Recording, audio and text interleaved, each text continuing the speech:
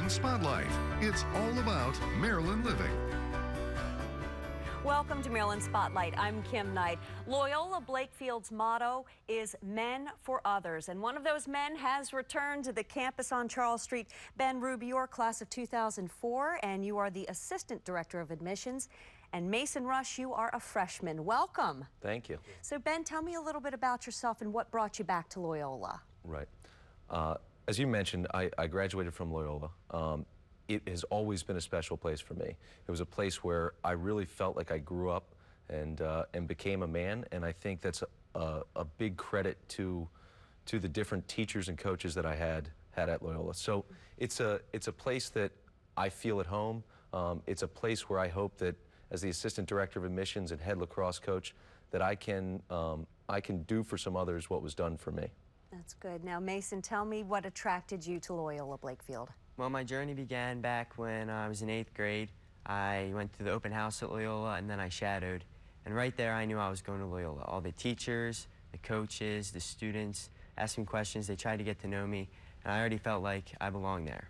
The next thing you know, at freshman orientation was uh, around, and picking potatoes for the poor, that was part of our service.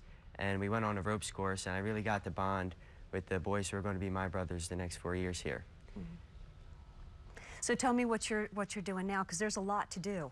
Well, now I'm playing football, JV football. I'm the quarterback, and I'm part of the Young Republicans Club, and I'm also in forensics. And that, they're just some of the many opportunities a boy has at Loyola, and that's what makes it such a great place to be. Yeah, there are so many things to do. Now, Ben, what do prospective parents need to know about uh, admissions?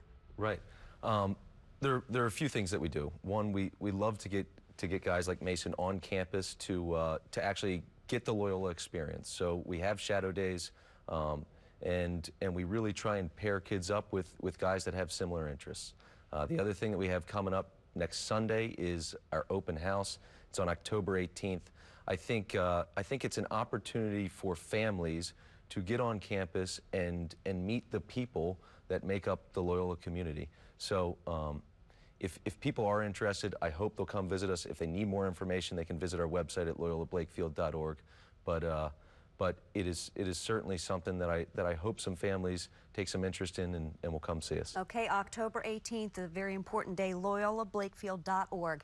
Thanks for being here in Mason. You're going to blink and you're going to be a senior. I know. Enjoy your time at Loyola. Thank you. All right.